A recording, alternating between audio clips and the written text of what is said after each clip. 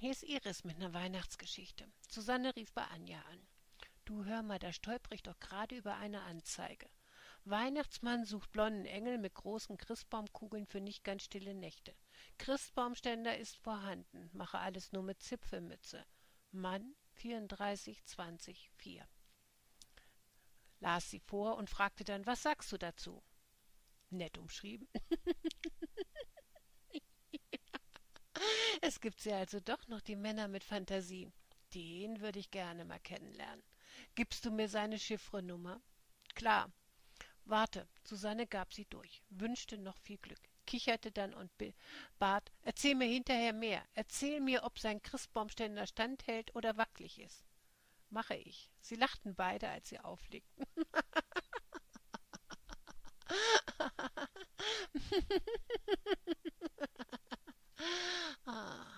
Männer und Fantasie. Noch am letzten Spieleabend hatten die Freundinnen darüber diskutiert.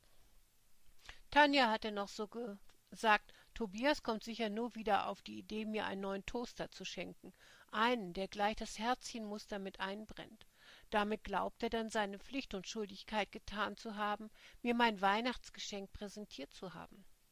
O je, die Betroffenheit der anderen war erkennbar. So schlimm? Ja, sagte Tanja, so schlimm. Du Arme, Jenny streichelte ihren Arm. Wie ist es denn bei dir, Susanne? Hm, hatte diese so überlegt. Dann, wir schenken uns nichts. Mirko meint, wir verdienen beide recht gut und können uns daher eh leisten, was immer wir wollen. Warum sollten wir uns da noch was schenken? Hältst du dich dran? hatte Jenny neugierig nachgefragt. Susanne senkte den Kopf. Eine Kleinigkeit habe ich immer gekauft. Etwas ganz Persönliches. Das dann schön eingepackt und dann weggepackt, als ich gesehen habe, dass er es wirklich ernst meint und kein Päckchen unter der großen Tanne für mich lag. Wie ist es bei dir, Jenny? fragte sie dann. Jenny druckste ein wenig herum. Die Freundinnen ermunterten sie. Na los, wir kennen uns schon so lange. Da sollten wir kein Blatt vor den Mund nehmen. Manuel wendet das Prinzip Zuckerbrot und Peitsche an. Wie? Die Freundinnen schauten Jenny überrascht an. Nun, so erklärte sie, wenn ich brav war das Jahr, dann habe ich ein Anrecht darauf, etwas zu bekommen. War ich nicht brav, wobei es allein seiner Einschätzung diesbezüglich bedarf, gehe ich leer aus. Wie? Gar nichts? fragten die Freundinnen. Wie man es nimmt, sagte Jenny, denn dann bekomme ich die Peitsche. Die Peitsche? Echoten die Freundinnen. Nun, sagte Jenny, Manuel und ich haben uns ja mal in einem Club kennengelernt. Da war ich am Wochenende öfter mal als Pony mit dabei, habe so mein BAföG aufgebessert, erklärte sie den anderen. Wie? Was hast du denn da gemacht? Oh, wir hatten so neckische kleine Stiefelchen an den an, die wie Hufgetrappel sich anhörten, wenn wir damit bedienten. Der Strapshalter war aus feinstem Hirschleder und hatte eben vorne die kleine Tasche, wenn wir eben abkassierten. Obenrum trugen wir ein Geschirr, welches einen Halfter nicht unähnlich aussah, ebenfalls aus feinstem Hirschleder. Wenn dann einer der Herren oder Damen mit dem Tischtelefon ein Pony bestellte, dann kam das entsprechende Pony an den Tisch getrabt und legte den Auftraggeber die Zügel in die Hand. In einem anderen Raum war eine kleine Arena aufgebaut mit Hindernissen. Manuel hat mich dahin geführt und mir erklärt, er müsse erst mal sehen, ob ich ein folgsames Pony sei. Das hieß, ich musste ein paar Runden laufen, dann die Knie schön hochziehen und er, er ließ im Takt hinter mir die Peitsche knallen, dann über die Hindernisse springen. Hin und wieder streifte mich die Peitsche, die hinter mir knallte, und automatisch erfüllst du deine Aufgabe ernsthafter, das könnt ihr mir glauben. Nach zwei Stunden hatte er dann gemeint, ich hätte den Gehorsam verinnerlicht und wir könnten jetzt in die Box gehen. Wie? Die Freundinnen schauten Jenny an. Du musst doch fix und fertig gewesen sein, und dann springst du mit ihm noch ins Bett, denn das war doch die Box, oder? Ja, das stimmt, aber ich war aufgegeilt. Ich war so aufgegeilt bis zum geht nicht mehr. Ich habe ihn buchstäblich aus der Hand gefressen, die er mir hinhielt, mit einem Zuckerli. In der Box wartete eisgekühlter Champagner und anschließend ein verdammt heißer Ritt mit ihm. Ich liebe es, wenn er mir die Sporen gibt, wenn ich seine Stute sein darf, wenn er mich besteigt, mich zureitet und mich anschließend besamt. Und schaut nicht so. Ja, ich liebe es, wenn er mich peitscht, immer wieder härter und mich dann nimmt, weil wir denn beide so geil sind. Aber das Spiel machen wir beide nur zu Weihnachten. Das ist unser persönliches Spiel. Wir haben da vor Jahren so einen Reitclub entdeckt, die genau das anbieten. Dort trifft man sich, trifft man dann auch auf andere ehemalige Ponys. Nachdem Manuel den Weihnachtsgottesdienst gehalten hat, fahren wir los, um unsere Weihnachtsfreuden zu genießen. Sprachlos starrten die anderen Jenny an. Manuel, der immer so ernsthaft wirkte, der von der Gemeinde geliebt wurde für seine engagierte Arbeit, die Alten, die sich seiner Fürsorge sicher sein konnten und dass er für jedes Problemchen ein offenes Ohr hatte. Dieser Manuel? Ich weiß, was ihr denkt, zwitscherte Jenny jetzt. Ich bin inzwischen ja auch eine ehrenwerte Anwältin, aber diese Auszeit, die brauchen Manuel und ich. Das hält unsere Ehe bereits seit sieben Jahren frisch. Du bist also absichtlich nicht brav? fragten die anderen. Nun, jeder schätzt brav unterschiedlich ein, sagte Jenny. Er trägt eben das, was er an, de, an Vergehen meinerseits so feststellt, das ganze Jahr in ein kleines Büchlein ein und Nikolaus bekomme ich in mein Stiefelchen die Quittung meiner Untaten. Die anderen schüttelten fassungslos den Kopf. Wer hätte das gedacht? Jenny, die sonst immer so ehrbar vor Gericht stritt, und Manuel, der evangelische Pastor ihrer Gemeinde. Wie gut stöhnte Susanne auf, dass ich nicht mehr in der Kirche bin. Wer weiß, was sich in diesen moralischen Gefilden noch so alles abspielt. Die anderen nickten beifällig. Anja konnte es sich nicht verkneifen, nachzufragen. Weiß Manuel eigentlich, dass du kurz nach eurer Hochzeit ausgetreten bist? Jenny wurde rot. So, so. Das hat der Gute also noch nicht rausbekommen. Psst, nicht so laut, sagte Jenny. Er weiß es wirklich nicht? fragte Susanne lachend nach. Nein, und jetzt lass uns das Thema wechseln, fauchte Jenny. Anja, was ist denn mit dir? Gehst du mal wieder leer aus zu Weihnachten? fragte sie dann. Geht es dich was an? fragte diese zurück. Ohoho, da ist aber jemand angefressen. Jenny feixte. Blonde Engelchen sind eben nicht die gewünschte Kategorie Frauen, die man auf Dauer erträgt. Was? Anja fuhr hoch. Auch die anderen schauten Jenny irritiert an. Jenny schaute Anja an. Na, du weißt schon, eine Blondine. Weiter kam sie nicht. Anja holte aus und schlug Jenny ins Gesicht, holte erneut aus, aber Susanne hielt sie fest. Nicht, lass es. Jenny fassungslos. Das, meine Liebe, das wird teuer, das war Körperverletzung. Anja, nein, Notwehr, reine Notwehr. Und außerdem, hast du nicht vorhin noch gesagt, du genießt die Peitsche? Somit sieh das als meinen Beitrag an, deine Spannung zu erhöhen. Jenny sich noch die feuerrote Wange haltend fauchte. Treib es nicht so weit. Wo werd ich denn? sagte Anja, stand dann auf und verließ Susannes Wohnung. Unten stand sie an der Wand gelehnt. Ein paar Tränen kullerten die Wangen hinunter. Es war aber auch wie verhext. Anfang des Jahres bahnte sich immer wieder eine neue Beziehung an und zum Herbst hin löste sie sich auf. Was machte sie nur falsch? Mit einem Ruck löste sie sich von der Wand und ging langsam nach Hause. Dann, ein paar Tage später, kam eben dieser Anruf von Susanne. Sollte das ein Wink sein? Sie würde es auf jeden Fall versuchen. Sie setzte sich an ihren Rechner und schrieb Lieber, lieber Weihnachtsmann, alle Jahre wieder ist es auf Erden zu dieser Zeit schwer allein zu sein. Deshalb lade ich dich ein, sobald du deine Arbeit getan hast, in der heiligen Nacht und alle beglückt sind zu alle beglückt sind, zu mir zu kommen, dorthin, wo die Glöckchen nie süßer klingen, der Tannenbaum noch einen Ständer braucht, konnte meinen mal wieder nicht finden. Bring bei mir deinen blonden Engel die Knospen zum Erblühen, damit du sehen kannst, es ist ein Ros entsprungen, und ich höre schon dein überraschtes O, du Fröhliche, wenn du meine Weihnachtskugeln betrachtest. Kann dir allerdings nicht versprechen, dass die Nächte still sein werden, also komm vorbei und lass uns froh und munter wichteln mit Zipfelmützchen. Anja blonder Engel. Sie packte noch ein Bild dazu, warf den Brief höchstpersönlich in den Briefkasten. Zwei Tage später war Post da. Sie konnte es kaum abwarten, ihn zu öffnen und riss ihn schon auf, bevor sie ihre Wohnungstür erreichte. Hallo, mein blonder Engel. Deine Antwort und dein Bild haben mir sehr gefallen. Komme nach dem Gabenrausch mit meinen Schlitten bei dir vorbei. Der Weihnachtsmann Lukas. Anja freute sich. Sie tanzte durch die Wohnung. Dann rief sie bei Susanne an: Du, er hat sich gemeldet. Wer? Er, der Weihnachtsmann. Anja, was redest du da? Susanne war irritiert. Dann fiel es ihr wieder ein. Die Chiffreadresse. Ja, genau der. Du, der ist so süß. Hat er ein Bild mitgeschickt? Ja, hat er. Lukas heißt er. Na, das passt ja, konterte Susanne, denn könnt ihr euch ja mit seinem Evangelium beschäftigen. Seinen was? fragte Anja nach. Nun, sagte Susanne, entweder wird die Weihnachtsgeschichte aus dem Matthäus oder aus dem Lukasevangelium in der Kirche verlesen. Oh, daran hatte ich ja noch gar nicht gedacht, sagte Anja. Aber okay, dann kann ich ja mal erforschen, was da drin so geschrieben steht. Beide lachten. Nicht, dass du denn wieder noch bibelfester wie Jenny wirst, meinte Susanne, als sie wieder Luft bekam. Das glaube ich kaum, kicherte Anja. Auf jeden Fall freue ich mich für dich, sagte Susanne, und zwischen den Jahren erwarte ich deinen Bericht. Einverstanden.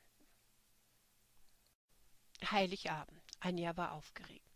Würde er kommen? Sie hatte sich schon mal umgezogen und trug jetzt ein zauberhaftes, weißes, schlichtes Kleid. Weiße Dessous für darunter und dann diese hauchfeinen Nylons, so zart, so glänzend. Die goldenen High Heels und ja, beim Friseur war sie auch noch gewesen. Ihre blonden Haare fielen in weichen Locken herunter, umschmeichelten ihr Gesicht und hinten, hinten auf dem Rücken trug sie Engelsflügel. Es war schon fast zweiundzwanzig Uhr, als es klingelte und er, der Ersehnte, endlich vor der Türe stand, tatsächlich auch noch im Weihnachtsmannkostüm. Anja lächelte, sagte dann Tritt herein, lieber Weihnachtsmann, ich war auch sehr brav das Jahr, oder steht in dem großen Buch etwas anderes über mich? Er trat rein, grinste. Engel Anja, vom Brav keine Spur, wie ich aus dem Buch erfuhr. Anja blickte ihm von unten her an. Bist du da sicher, Weihnachtsmann? Oh ja, denn alles, was im großen Buche steht, ist wahr. So wahr, wie ich hier stehe. Magst du etwas trinken, Weihnachtsmann? Denn auf deinen Schlitten war es sicher, trotz deines dicken roten Mantels, nicht so warm. Ich hätte passend zu deinem Mantel einen schönen roten anzubieten. Mir scheint, du willst mich bestechen, mein blondes Engelchen. Ich? Anja stolzierte in ihr Wohnzimmer. Er folgte. Der Rotwein befand sich bereits im Dekanter. Sie schenkte ein, prostete ihm zu und nahm einen Schluck. Er tat es ihr gleich. Hm, schmeckt gut. Anja stellte das Glas ab und sagte, Weihnachtsmann, was im großen Buch über mich geschrieben steht, das ist doch sicher so arg, dass ich eure Rute spüren darf. Du hast es erfasst, Engel Anja, die Rute, davon kannst du ausgehen, ist dir gewiss. Ho, ho, ho, ho. Lieber Weihnachtsmann, es ist warm hier drin. Ihr könnt daher euren Mantel ablegen. Aufmerksam musterte er sie, schaute auf ihre feucht glänzenden Lippen. Wohl wahr, Engel Anja, wohl wahr. Sehr beflissen um ihn herum tänzelnd sprach sie weiter, darf ich euch helfen, Weihnachtsmann? Nein, mein Engel, noch nicht. Setze dich, damit ich deinen Anblick genießen kann. Wie ihr wünscht. Sie tänzelte wieder zum Stuhl, setzte sich. Er lächelte, als er seinen breiten Gürtel löste und ihn über eine andere Stuhllehne hängte, die Kapuze abstreifte, die lange wallende weiße Mähne samt Bart abnahm. Jetzt war ansatzweise zumindest der Lukas zu erkennen. Was sie sah, begeisterte Anja total. Schulterlanges, gelocktes, dunkles Haar, dunkelbraune Augen, ein Dreitagebart. Oh, entfuhr es ihr auch prompt. Ein Mann zum Anbeißen, zweifelsohne. Er grinste, war er doch auch von dem Anblick, der sich ihm geboten hatte, als die Tür aufging, sehr angetan gewesen. Diesen Engel zu vernaschen, das war's, und vielleicht ging es auch endlich mal über Weihnachten hinweg. Sie war süß, sie war schlagfertig, etwas, was er bei Frauen liebte, und sie war sehr sexy. Je mehr er sich auszog, je mehr und hob und senkte sich ihr Bauch. Ihre Brüste drängten sich stärker hervor. Er stöhnte unwillkürlich auf. Verdammt! Was sollte sie denken, wenn er seine Rute auspackte, die eindeutig stand und bereit zum Einsatz war? Raus aus den Stiefeln und dann die Hose runter. Er setzte sich und trennte sich auch von seinen Socken. Anja schaute aufmerksam. Jetzt, wo die Stiefel weg waren, hatte er immer noch eine angenehme Größe. Sie mochte es, so einen Mann hochschauen zu können. Er stand wieder auf. Anja lächelte wieder. Nett soweit, aber lieber Weihnachtsmann, du solltest dich auf jeden Fall von deinem roten Mantel trennen. Ich bin. Er unterbrach sie. Geduld, mein Engelchen, gehört nicht zu deinen Stärken. Auch das war in dem großen Buch vermerkt. Nun denn, er streifte seinen Mantel ab, legte auch diesen langsam auf der Lehne des Stuhls ab, drehte sich ihr, Anja, wieder zu zeigte sich seinerseits jetzt überrascht, denn hat, diese hatte ihre Flügel abgelegt und auch ihr weißes Gewand. Weihnachtsmann, flüsterte sie, das ist deine Magie, die Magie zu Weihnachten, die uns, sonst nicht Sichtbaren zueinander führt. Ich weiß, ihr Blick versank in den seinen, dass ich die Rute mehr als verdient habe, und deshalb gebt sie mir. Gut gesprochen, Engelchen, sagte der Weihnachtsmann, so soll es sein. Er schob seinen Schort nach unten, und eine prachtvolle Rute sprang hervor. Wahnsinn, hauchte Anja. Dann komme ich wohl nicht umhin, die versprochenen Weihnachtskugeln zu zeigen. Sie griff nach hinten, löste die Häkchen des BHs und streifte diesen über die Schultern und die Arme ab. Jetzt lag das Staunen bei ihm. Apart, apart, du hast eindeutig nicht gelogen, deine Kugeln sind wunderschön. Seine Stimme klang rauh. Sie streifte ihren Slip ab, er legte sein Hemd noch ab und dann lockte sie, lockte Anja ihn zu ihrem Himmelbett. Gestern noch hatte sie den Himmel noch ausgetauscht, verschiedene Blautöne mit goldenen Sternlein darauf. Steigen wir auf zum Himmelzelt, sagte sie, und dort kannst du, nachdem du deine Zipfelmütze angelegt hast, mir die Rute geben, die ich so verdient habe. Sie wies dabei auf ihren Nachtschrank, wo diverse verpackte Zipfelmützchen lagerten, und legte sich währenddessen auf das Bett. Wieder grinste er, dann griff er nach einem der Tütchen, öffnete es und streifte es blitzschnell über, drehte sich ihr wieder zu. Engelchen, dreh dich rum, auf alle Viere mit dir, denn jetzt bekommst du die Rute zu spüren, wie es dir geziemt nach dem großen Buche. So soll es sein, sagte Anja lächelnd ergebend. Was im großen Buche steht, muss unbedingt erfüllt werden. Genau. So sprach der Weihnachtsmann und hieb mit seiner Rute ein paar Schläge auf Engelchens nackten Po. Aua, aua, sagte dieses. Ein schöner Klang, ein schönes Klatschen. Ich hoffe, sagte er dann, dass du Buße tust. Wo werd ich denn? kam es keck vom Engelchen. So, so, so, ein schwerwiegender Fall, sagte der Weihnachtsmann schmunzelnd. Da muss ich wohl andere Wege finden, die Rute zum Einsatz zu bringen. Es geht nicht an. Anja war heiß, aber sowas von heiß. Sie sagte nur, stecke deine Rute ein, ich verspreche dir, ich will auch immer unartig sein. Nun denn, die Rute fand einen neuen Weg, einen Weg tief in Anja hinein. Der Weg war feucht. Die Rute rutschte unweigerlich tiefer und tiefer und tiefer. Der Weihnachtsmann beugte sich weiter über sie, um mit seinen Händen die prachtvollen Kugeln zu halten, von deren Schönheit er sehr angetan war. Immer wieder griffen seine Hände zu, so als wenn er es nicht glauben konnte, und seine Rute peitschte nach allen Regeln der Kunst das glitschnasse Engelchen. Sie stöhnte und bald bat, sobald sie wieder etwas Luft bekam, sofort nach neuen Hieben. Ja, sie bettelte geradezu darum, mehr von diesen zu bekommen. Oh, bitte, lieber Weihnachtsmann, bitte, bitte hau mich weiter. Ich brauche das so sehr. Ja, oh, bitte, bitte. Oh, Weihnachtsmann, ja. Ah. Lukas ließ sich nicht lange bitten. Er folgte dieser Aufforderung. Und und als er es wirklich nicht mehr aushalten konnte, folgte ein letzter Peitschenhieb sowie eine Entladung, die ihresgleichen suchte. Ihre Haare waren nass, als sie den Kopf wendete, und kleine Kringellöckchen hatten sich gebildet. Ihr Stöhnen war lauter und lauter geworden, und er, obwohl seinen gut gefüllten Sack entleert, stieß noch ein zweimal kräftig zu, was Anja jetzt ihrerseits zum Explodieren brachte. Still, flüsterte er, hat die Nacht nicht angefangen. Wir sollten jetzt duschen gehen, ein wenig kuscheln und dann die anderen Zipfelmützen an den Feiertagen auch noch ausprobieren. Auf jeden Fall, mein Engel, war das ein guter Anfang, und nach dem Duschen lernen wir uns ein wenig besser kennen. Ja, sagte Anja, das sollten wir. Ich kann nach dem Kuscheln und Kennenlernen dir auch noch die Querflöte und die Blockflöte bespielen. Sehr gut, meinte Lukas lachend. Das heißt, Weihnachten ist gerettet.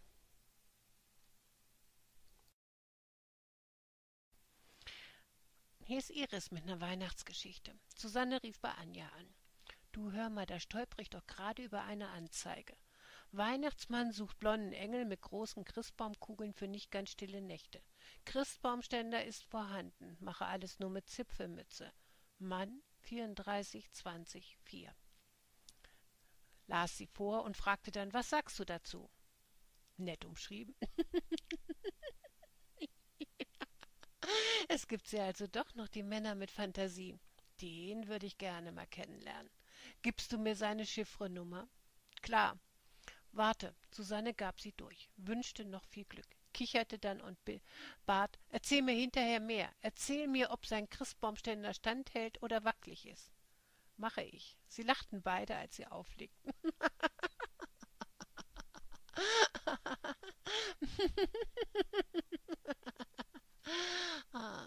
Männer und Fantasie. Noch am letzten Spieleabend hatten die Freundinnen darüber diskutiert. Tanja hatte noch so gesagt, Tobias kommt sicher nur wieder auf die Idee, mir einen neuen Toaster zu schenken. Einen, der gleich das Herzchenmuster mit einbrennt. Damit glaubt er dann seine Pflicht und Schuldigkeit getan zu haben, mir mein Weihnachtsgeschenk präsentiert zu haben. O oh je, die Betroffenheit der anderen war erkennbar. So schlimm? Ja, sagte Tanja, so schlimm. Du Arme, Jenny streichelte ihren Arm. Wie ist es denn bei dir, Susanne? Hm, hatte diese so überlegt. Dann, wir schenken uns nichts. Mirko meint, wir Tasche, wenn wir eben abkassierten. Obenrum trugen wir ein Geschirr, welches einen Halfter nicht unähnlich aussah, ebenfalls aus feinstem Hirschleder. Wenn dann einer der Herren oder Damen mit dem Tischtelefon ein Pony bestellte, dann kam das entsprechende Pony an den Tisch getrabt und legte den Auftraggeber die Zügel in die Hand. In einem anderen Raum war eine kleine Arena aufgebaut mit Hindernissen. Manuel hat mich dahin geführt und mir erklärt, er müsse erst mal sehen, ob ich ein folgsames Pony sei. Das hieß, ich musste ein paar Runden laufen, dann die Knie schön hochziehen und er, er ließ im Takt hinter mir die Peitsche knallen, dann über die Hindernisse springen. Hin und wieder streifte mich die Peitsche, die hinter mir knallte, und automatisch erfüllst du deine Aufgabe ernsthafter, das könnt ihr mir glauben. Nach zwei Stunden hatte er dann gemeint, ich hätte den Gehorsam verinnerlicht und wir könnten jetzt in die Box gehen. Wie? Die Freundinnen schauten Jenny an. Du musst doch fix und fertig gewesen sein, und dann springst du mit ihm noch ins Bett, denn das war doch die Box, oder? Ja, das stimmt, aber ich war aufgegeilt. Ich war so aufgegeilt bis zum geht nicht mehr. Ich habe ihn buchstäblich aus der Hand gefressen, die er mir hinhielt, mit einem Zuckerli. In der Box wartete eisgekühlter Champagner und anschließend ein verdammt heißer Ritt mit ihm. Ich liebe es, wenn er mir die Sporen gibt, wenn ich seine Stute sein darf, wenn er mich besteigt, mich zureitet und mich anschließend besamt. Und schaut nicht so. Ja, ich liebe es, wenn er mich peitscht, immer wieder härter und mich dann nimmt, weil wir denn beide so geil sind. Aber das Spiel machen wir best. Jenny wurde rot. So, so. Das hat der Gute also noch nicht rausbekommen. Psst, nicht so laut, sagte Jenny. Er weiß es wirklich nicht? fragte Susanne lachend nach. Nein, und jetzt lass uns das Thema wechseln, fauchte Jenny. Anja, was ist denn mit dir? Gehst du mal wieder leer aus zu Weihnachten? fragte sie dann. Geht es dich was an? fragte diese zurück. Ohoho, da ist aber jemand angefressen.